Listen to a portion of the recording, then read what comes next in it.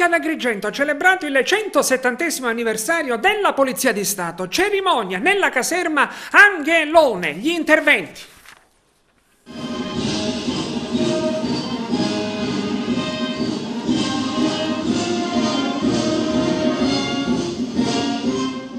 ...170 anni di storia compie adesso oggi proprio la Polizia, celebriamo questa ricorrenza in ricordo intanto di tutte le vittime del, dei, dei caduti in servizio che hanno perso la vita per difendere sicuramente la sicurezza.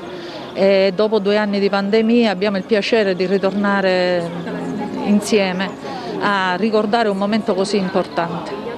E faccio gli auguri a tutti i poliziotti, a tutti coloro che fanno quotidianamente sacrifici per garantire la sicurezza dei cittadini e il rispetto dei valori democratici. Come è cambiato il corpo della polizia in in questi quasi due secoli.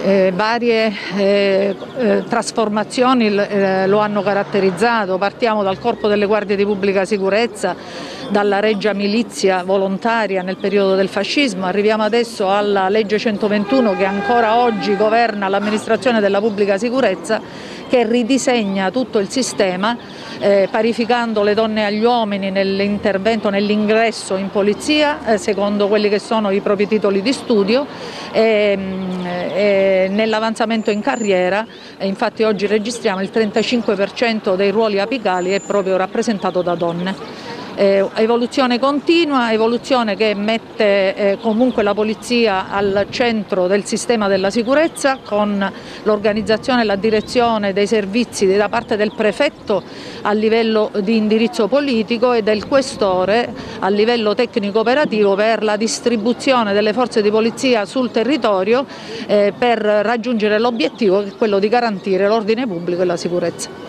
È stato un anno particolarmente laborioso, eh, abbiamo, avuto, abbiamo registrato purtroppo il lutto e la perdita di uno dei nostri eh, collaboratori eh, a cui va un ricordo commosso, un ricordo commosso alla famiglia eh, di chi è caduto adempiendo al proprio dovere.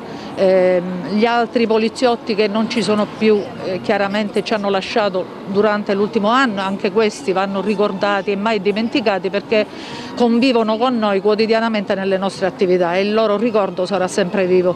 Dal punto di vista operativo?